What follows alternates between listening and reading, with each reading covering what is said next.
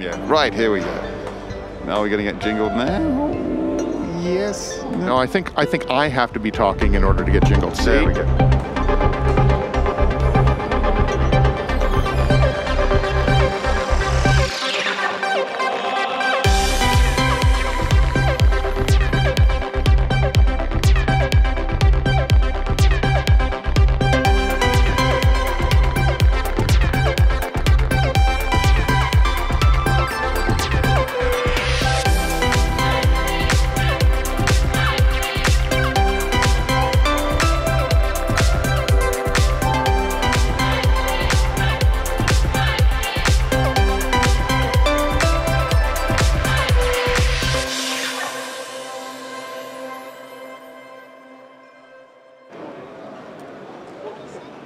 Competition, which is go nuts. Yes.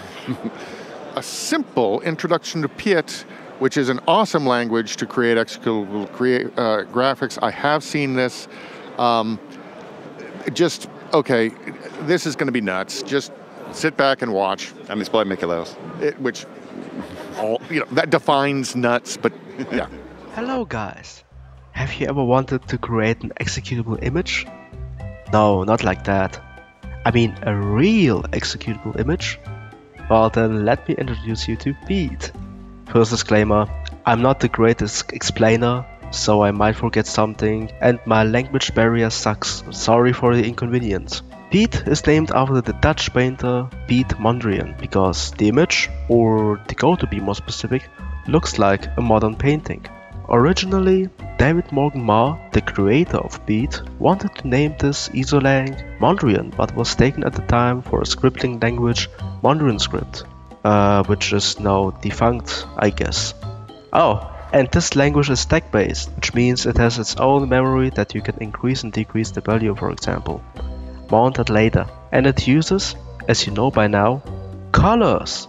You might be wondering, what do the colors do and why is this code the exact same as this one? Well, there are two things you need to know about the commands. First are the colors. There are 20 different colors, to be specific 6 hues, red, yellow, green, cyan, blue and magenta. For each hue a lighter and a darker hue. Black and white. I don't know exactly why in this order because I didn't read any documentation. And second are the actual commands. Second disclaimer, I'm not going to go through all of the commands, just the necessary ones that I use for this prod. If you want to know more about the stuff, read the actual documentation at the Esolang wiki. There are a lot of basic commands like adding numbers to a stack or subtracting them. But one type of command that I enjoy using the most are the output commands. These both output commands, out character and out number, output the current numbers or characters that are being showed inside the stack, like here the 70 and the F. Also, don't forget about the dupe command. It saves the stack into memory to reuse in later calculations. And with a combination with these commands, you can turn some bulky code like this to some compact code like this. Also what I use is black that's being used as a wall to prevent the code from going further, for example. And white, which does nothing, is just there to make the code look much nicer, like the white space in a regular code. The code starts from the top left corner and it goes around clockwise. But Mick, how can I make my own geeky pixel art? Well, there are some different IDEs, but I use this IDE because it's very beginner friendly and it shows what command you have to follow with the color palette. And during the debugging process, it shows you what your code does. This array is where you draw the pixels, or as how Mr. Morgan-Mar wants you to call them, codels. A codel or code pixel is pretty much a square of any size so that you don't have to create literal pixel arts. You can change the side of the canvas and you doodle around on the canvas and create awesome stuff like that Amiga logo that actually outputs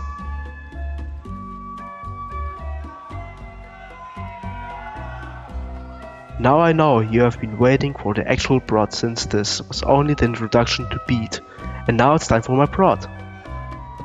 Which is on the second video. Just click the X in the top right corner and open the second video that's in the same folder as this one. See you in a bit. What the hell? What do you mean? Why did you include trash in your prod? No, that goes in the yellow bin. Mm-hmm. Whoa, whoa, whoa, wait, no, no. Ah, I didn't mean to click on that. Ah, stupid lag. Why was this here in the first place? Ah, finally. Hey, welcome back! Now it's time for the actual prod I made for this party. I present you this a revision logo that outputs. Wait for it. Revision 2K24. I hope you enjoyed my little prod. Ja, and geil, you- danke für nix.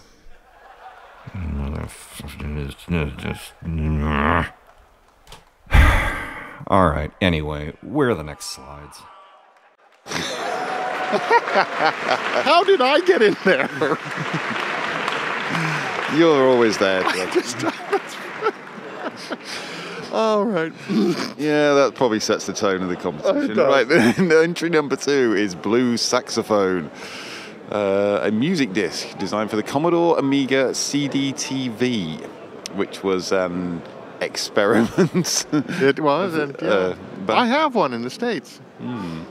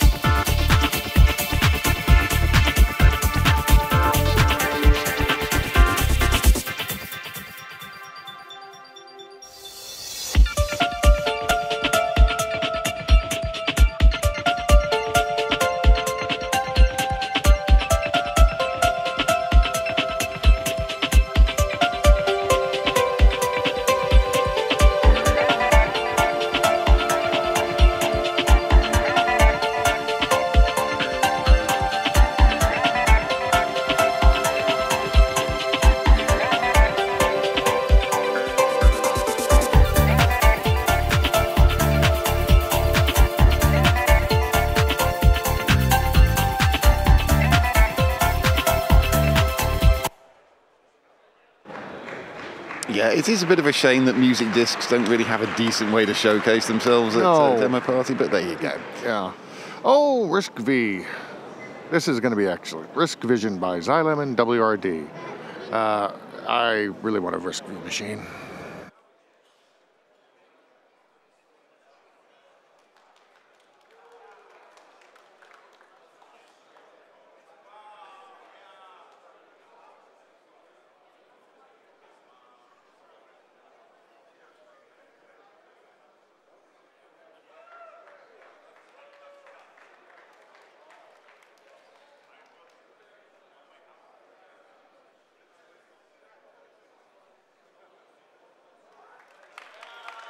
And there you go. That was a very quick combo, Phil. Chip Chop 17 by Desire, another music disc.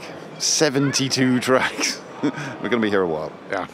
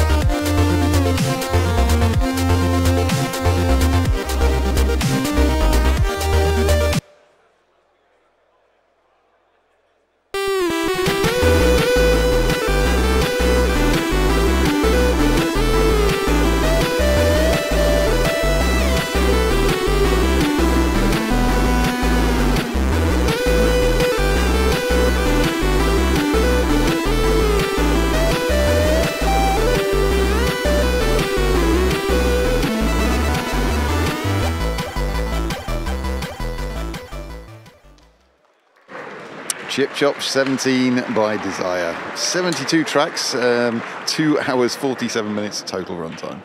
Bad Aon by Shiru 8-Bit. This is the traditional bad apple garbage version thing that should not be in this competition because it's not a demo, but actually, okay, it's the wild compo. So this is the one place you can do it. Anyway, it's the hardware from 1993. It's Z80 powered, and we're going to watch this stupid animation.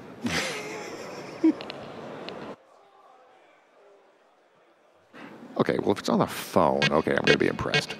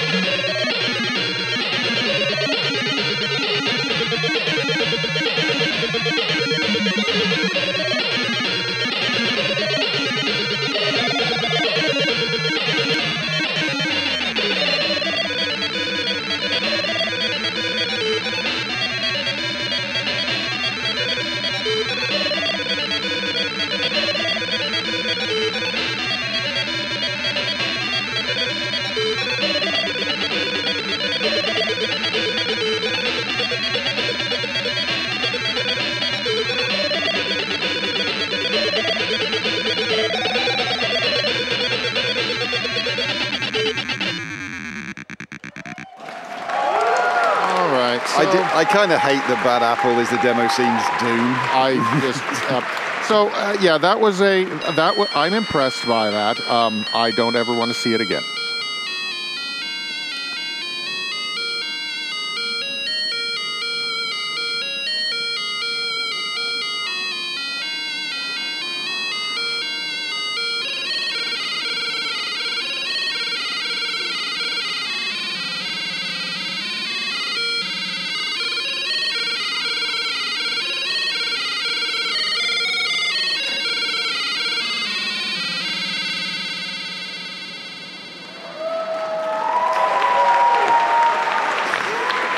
It is impressive technically. is. It is. but It, technically, it's, it's, it's, it's technically impressive. It's just I really wish that it wasn't doing the same video playback. I'd rather somebody, you know, make a, you know, their own. I mean, Gasman's version was is anyway. Oh, and so- speaking of things that have been done to death, Oh.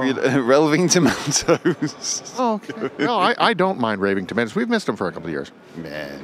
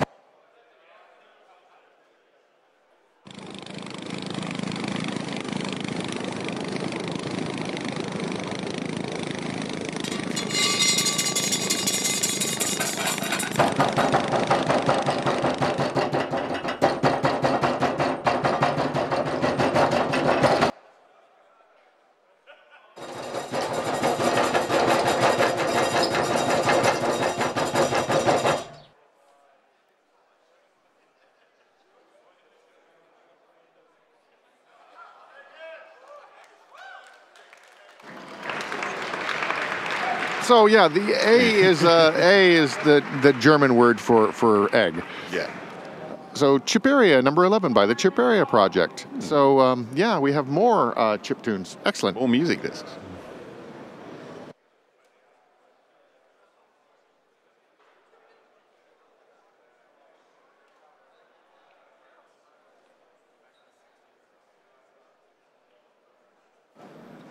And it will uh, start soon.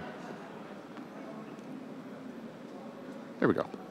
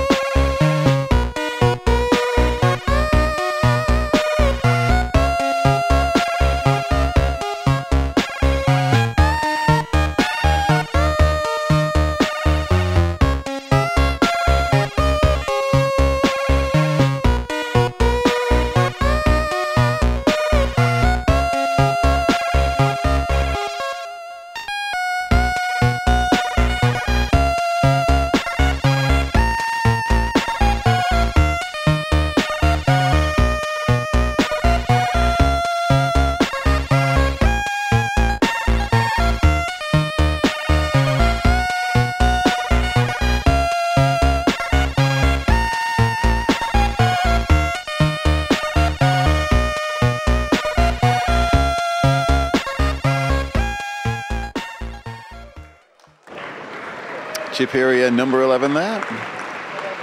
Uh, more music discs.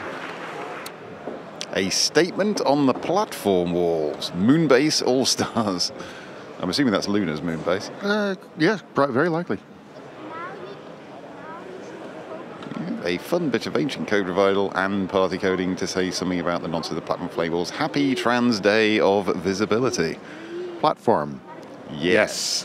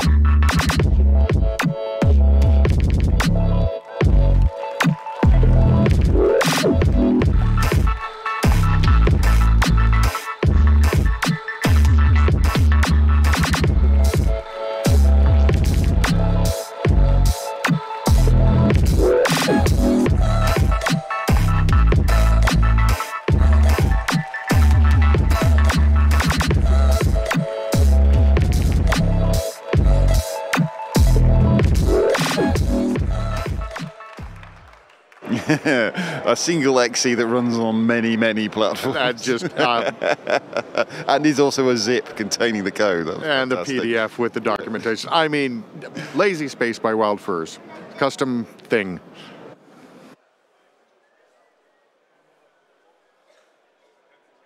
Oh, uh, custom soldered hardware and 3D printed parts.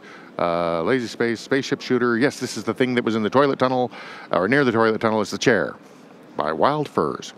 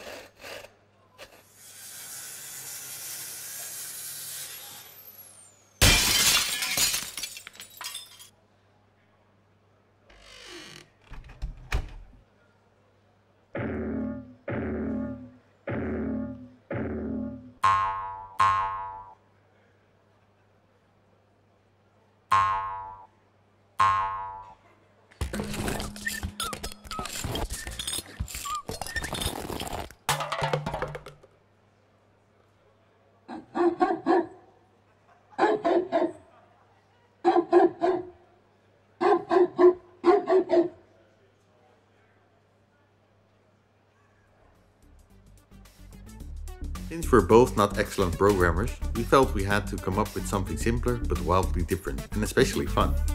After some sessions of woodworking, 3D printing and blinken lighting, we made a nice visor for a chair.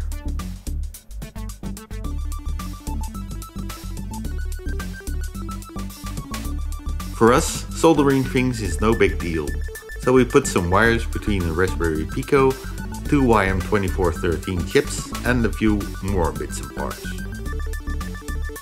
Many hours of typing and head scratching went by, but just in time things started working. We have a proof of concept.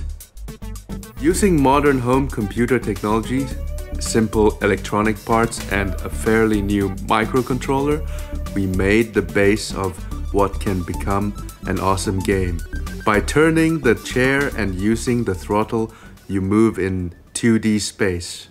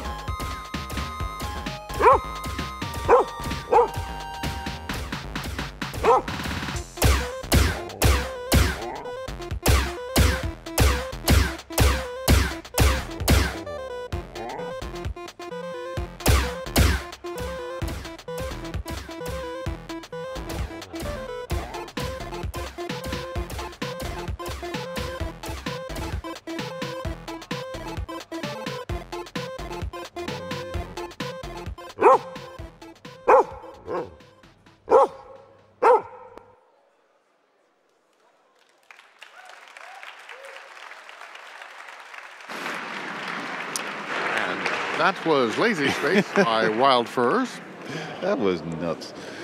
Scene Lake School Play. by Skenejärven Ala-aste 2024. Sometimes we just want to make you smile.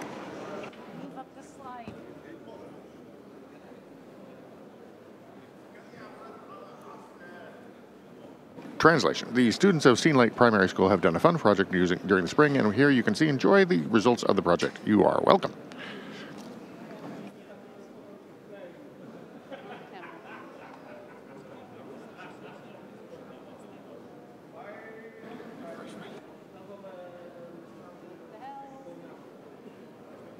Oh, you did say 30 seconds. Uh, this apparently has a uh, 30 second or something uh, startup time, so uh, we're Meidän Skenejärven yläasteen oppilaat, luokan 9B-oppilaat ovat tehneet hienon projektin kevään aikana ja tässä nyt päästä nauttimaan projektin tuloksista. Olkaa hyvä. Na na na na na na na da da da da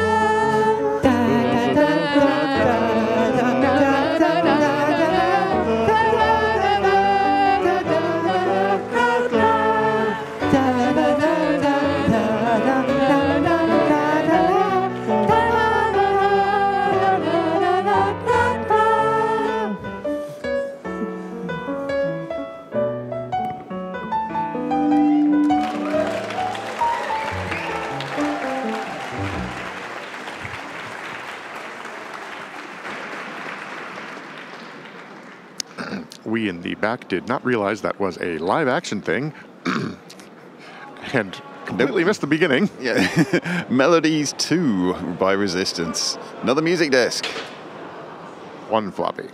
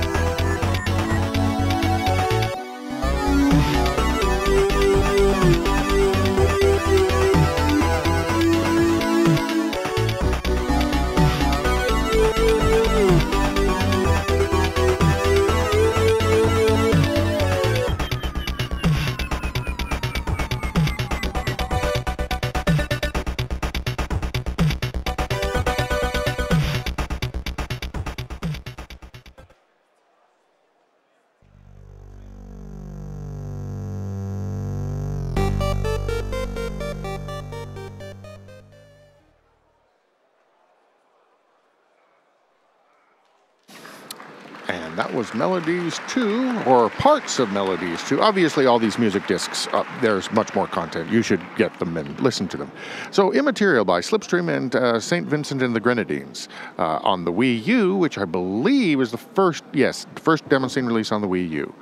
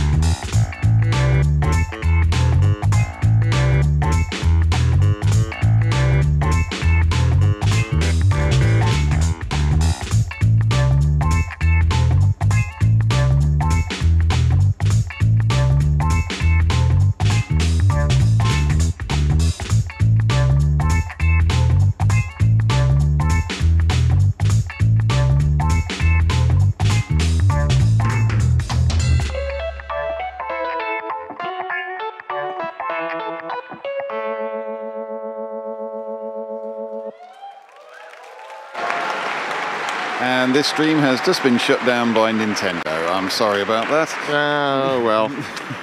we survived the Twitch ban, but not the well, no, we won't get. We the CCC will carry us anyway. Analogik Music Disc. Another music disc from Med of Analogik. Well, probably from Analogik in general, but. Uh, for all the chiptune lovers, and this one runs on Windows, Linux, Mac OS, and online. Yeah. So you don't necessarily need an Amiga or an Amiga emulator to run this one, or a CD to there too.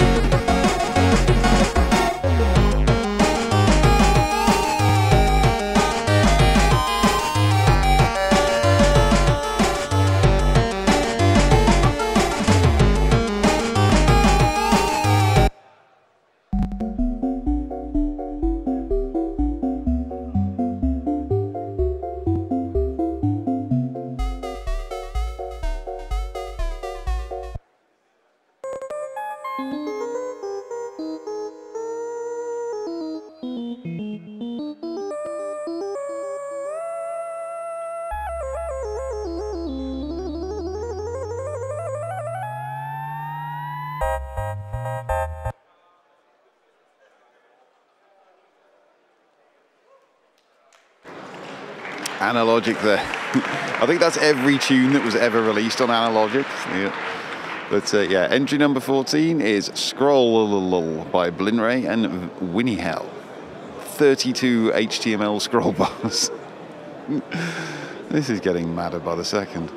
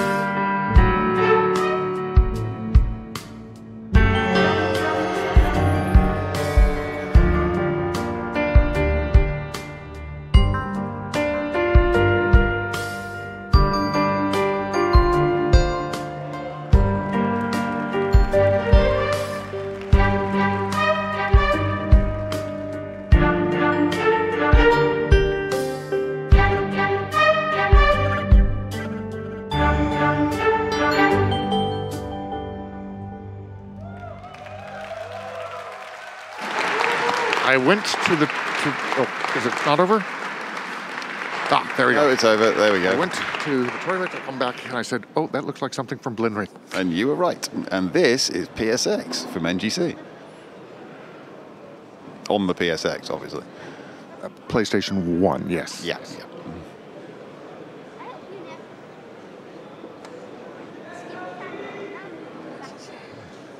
Happy birthday, PlayStation 1.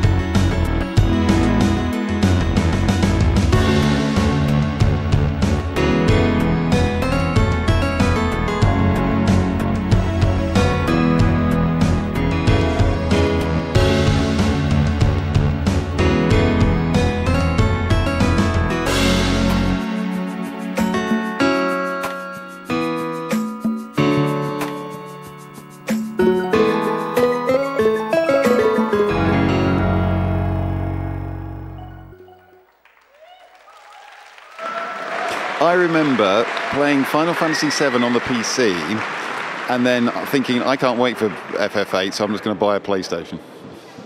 so I did. And entry number 16 is Cortex by Dekadence. I will mention, well, I'll mention it after.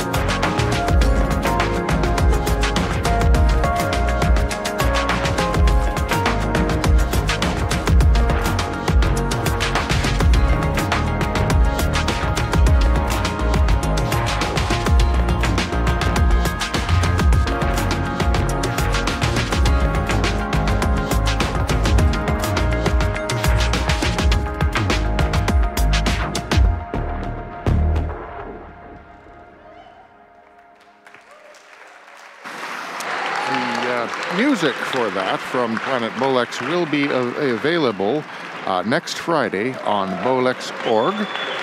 Um, and uh, please go get it. It's available for you next week. Yes. Now, what were we saying about the PlayStation? Well, there was some discussion about uh, being able to run PlayStation stuff on PS2 and uh, also on PS3.